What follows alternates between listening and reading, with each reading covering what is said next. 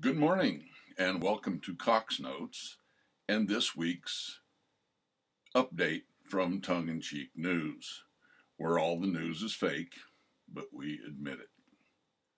I'm coming to you today from my home office, where I am diligently trying to treat symptoms of spring fever, cabin fever, chronic camping withdrawal syndrome, and social interaction anxiety. But on with the news.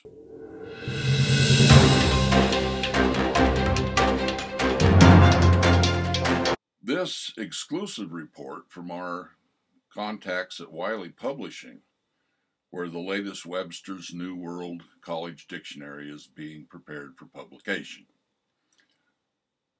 We have learned from once reliable sources that several words, meanings, etc., are being proposed for addition, deletion, or correction in the upcoming version of the College Dictionary. In the current dictionary, the synonymy for essence or essential is highlighted and explains the word as follows quote essential in the strict usage is applicable to that which constitutes the absolute essence or the fundamental nature of a thing and therefore must be present for the thing to exist end of quote. It is our understanding that at least one governor and several congressional representatives have requested that a further explanation be provided in the synonymy of essential.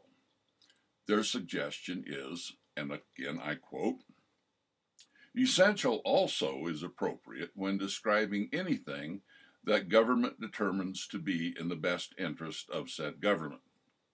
End of quote. The same petition asks that synonymy of the word citizen be changed. It now states, and I quote, Citizen refers to a member of a state or nation, especially one with a republican government, who owes it allegiance and is entitled to full civil rights either by birth or naturalization. End of quote. The petitioners are reportedly asking that the words be changed to, another quote, citizen refers to anyone who is present in a state or nation and who may choose or choose not to pledge allegiance to said state or nation, but is still entitled to the full civil rights regardless of birth or other circumstances. End of quote. Lastly, it is our understanding that the Webster's New College Dictionary will also be asked to remove words like civil defense, civil disobedience, civility,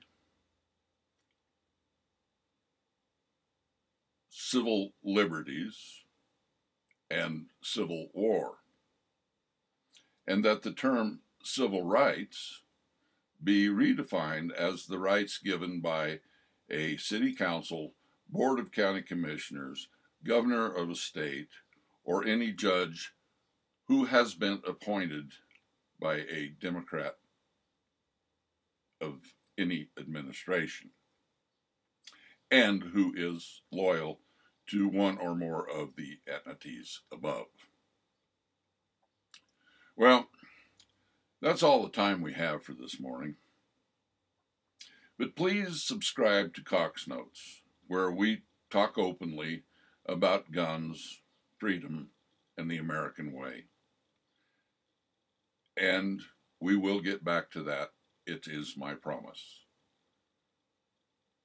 And every Friday, we will continue to bring you an update from Tongue in Cheek News.